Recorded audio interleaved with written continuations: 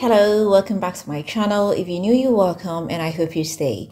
Today, I'm bringing to you my lazy fried rice recipe. So if you've got some old cooked rice in your fridge, please do not throw it away. It will come in very handy. Without wasting time, let's just get started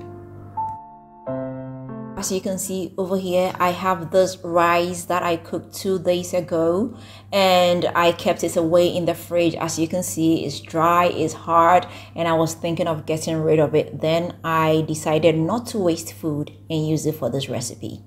Get a bowl and come in with about four medium-sized eggs.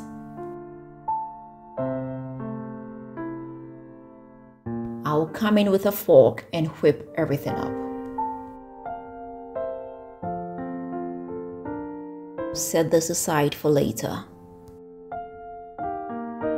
I'll get a large enough pan and come in with some oil. The oil is hot enough, I'll pour in my eggs. Don't forget we're doing this on medium to high flame.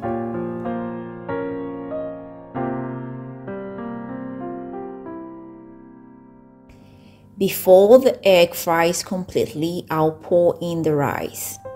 So basically the rice comes in when the egg is still wet. I will go ahead and stir fry. The wet egg will coat the rice. This will make it softer and more delicious. We're doing this on medium fire for about one minute.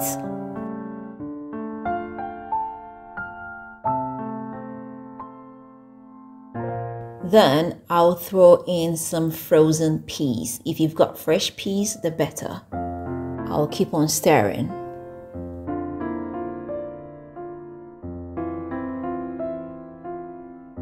I will come in with some chopped carrots. Basically, you can put in whatever vegetable you have.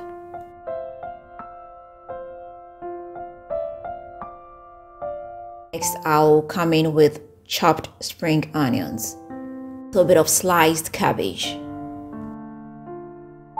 and the stirring continues.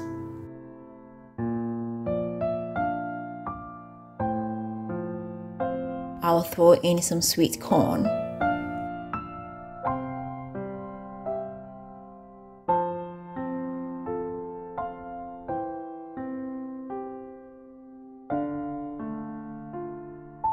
I'll come in with some sprouts.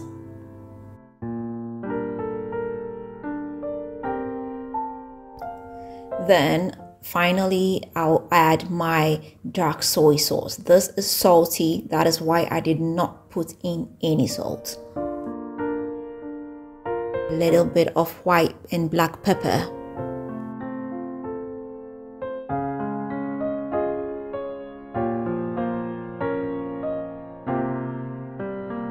I'll keep on stir frying on medium to high fire for about two more minutes.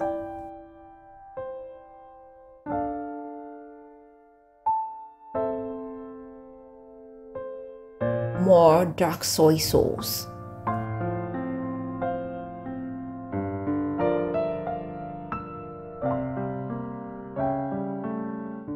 Ginger powder, which is optional, is my personal favorite.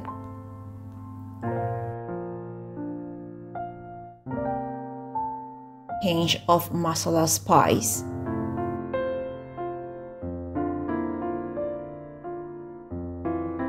And yes, it is ready.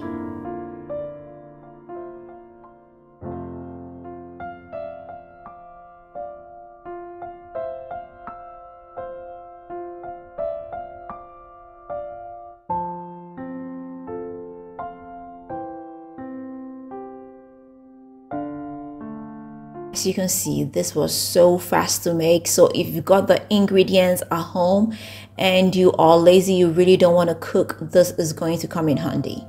Yes here we are. Dinner is served lunch is served. This is easy fast and delicious Hope you are going to give this a try. If you do, let me know how it comes out for you. If you've not subscribed, please don't forget to hit the subscribe button. Don't forget to share this with family and friends and don't forget to leave me that big fat thumbs up. Until next time, I am going to see you again with another nice and interesting one. Bye bye.